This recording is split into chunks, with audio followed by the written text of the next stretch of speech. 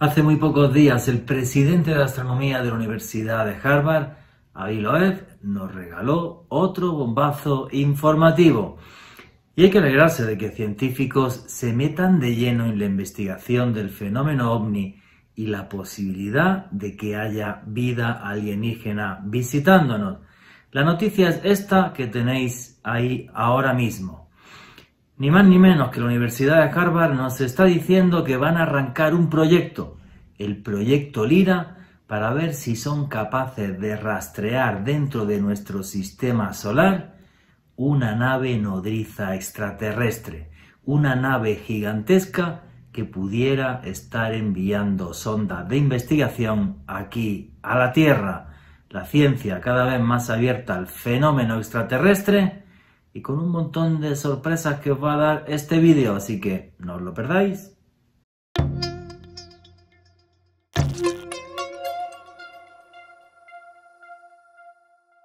Hola a todos y bienvenidos a un nuevo vídeo de Oculto tras la sombra.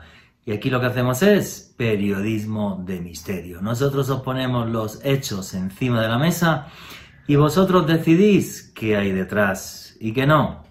Otro vídeo como decía en la introducción, con una bomba informativa, otra vez por parte de Avi Loeb, presidente de astronomía de la Universidad de Harvard. Y hay que estar agradecido a este señor porque está haciendo que la ciencia o parte de los científicos, todavía una minoría, estén realmente esforzándose en buscar vida alienígena, vida extraterrestre cerca de la Tierra. Bien, el proyecto que acaba de lanzar este señor Aviloeb es el proyecto Lira. Y este proyecto Lira lo que quiere es colaborar con uno de los telescopios más importantes del mundo para buscar naves nodrizas, naves gigantescas alienígenas cerca de la Tierra. Él y también Aviloeb y también Sin Kilpatrick, el director de la AARO de la Oficina de Investigación de OVNI del Pentágono, están obsesionados con buscar naves nodrizas. Luego en un segundo voy a explicar por qué. En fin, fijaros en este recorte de prensa.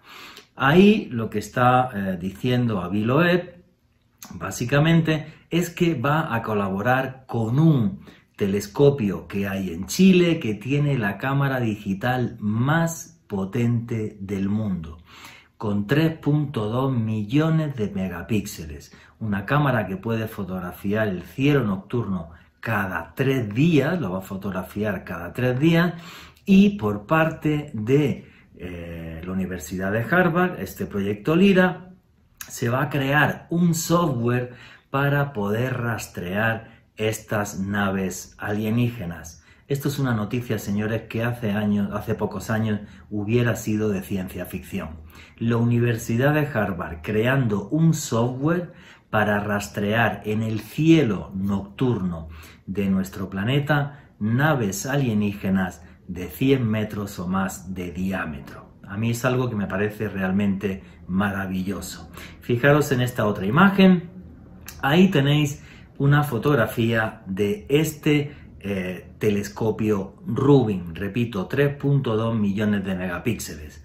Lo que va a hacer ese software es cualquier cosa que no sea un meteorito, una estrella o un satélite y brille, lo va a empezar a seguir a ver si tiene las mismas anomalías que tenía Oumuamua.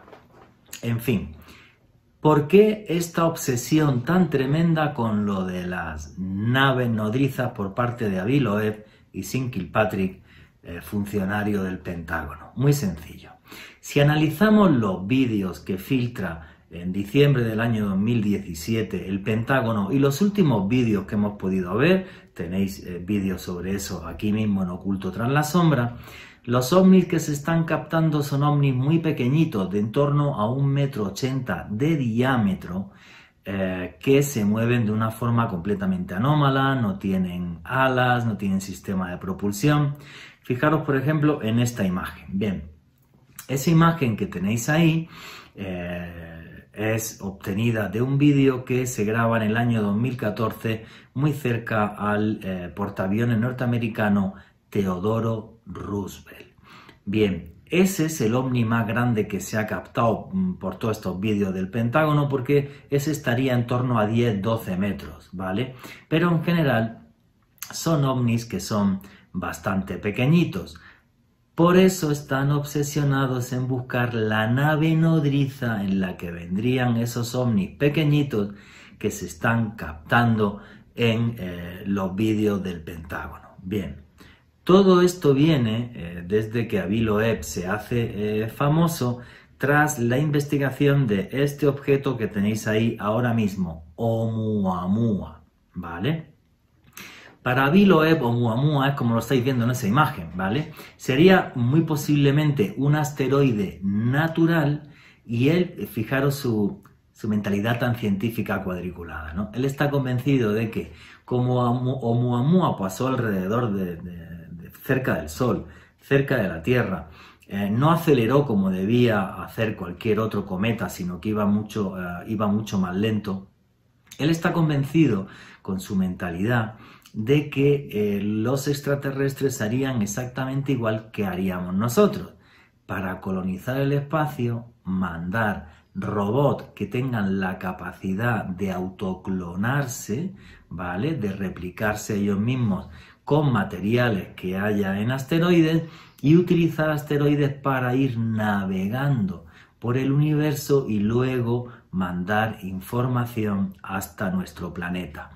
Que estos son teorías que han hecho ya desde científicos de la NASA a otros para poder colonizar el universo, ya que el universo es gigantesco. Ahí tenéis una imagen, por ejemplo, de cómo serían ese tipo de robot que llevarían eh, inteligencia artificial y que eh, podrían estar miles y miles de años, incluso millones de años, deambulando por el universo y luego regresar para traernos información a nuestro planeta. Eso, señores, es una mentalidad muy científica convencional, ¿vale? Ahora, hay otros científicos que estén buscando naves extraterrestres, pero no con un eh, telescopio, una nave, una, cámara de 3.2 millones de megapíxeles, sino analizando casos ovnis reales, que esto es lo que me parece fabuloso. Yo estoy convencido que no hace falta fotografiar el cielo nocturno ni saber qué hay al lado de Júpiter. Es que están aquí. Fijaros en, esa, en este recorte de prensa que tenéis ahí. Bien.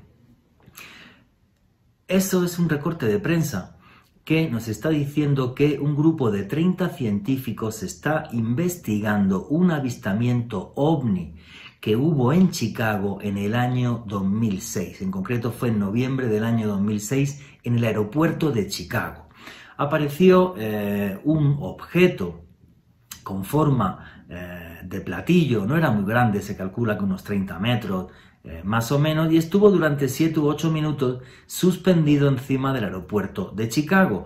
Lo vieron, los, eh, lo vieron pilotos, lo, vio, eh, lo vieron desde torre de control, no aparecía en el radar, pero todo el mundo lo estaba viendo. Y lo que comentan los testigos es que ese objeto de repente salió disparado de forma vertical hacia arriba a una velocidad absurda.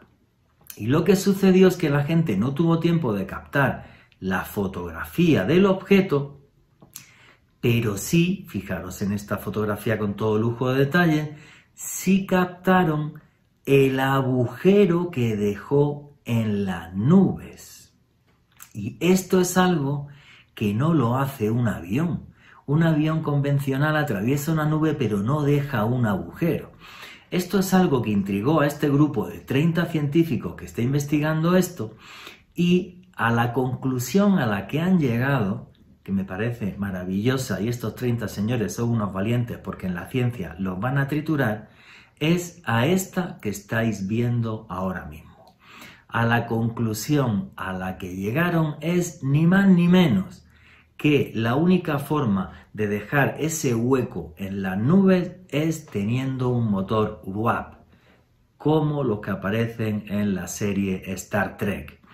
Es un motor que se basaría en curvar el espacio y el tiempo.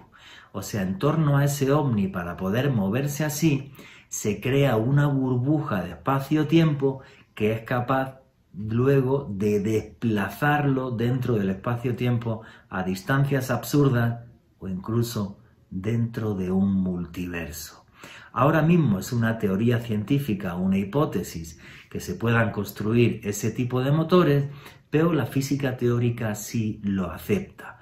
Esa fotografía demostraría que esa tecnología es posible, que se puede llegar a hacer. Los ovnis doblando el espacio-tiempo. 30 científicos apostando sobre esto y que es una realidad, porque tenemos las evidencias como es esa fotografía. Me encanta que haya científicos que tengan la mente abierta y soy de los que piensa que para buscar vida alienígena, señores, no hace falta desplazarnos por la Vía Láctea. Los extraterrestres están aquí entre nosotros y nos dejan rastros y pruebas que pueden ser analizadas también científicamente. Ojalá dentro de poco la ciencia se meta de lleno realmente en investigar el fenómeno ovni, porque ustedes y yo creo que lo que queremos es saber más. Espero que os haya gustado el vídeo, darle like, darle a la campanita para suscribiros y que os lleguen notificaciones y hasta prontito.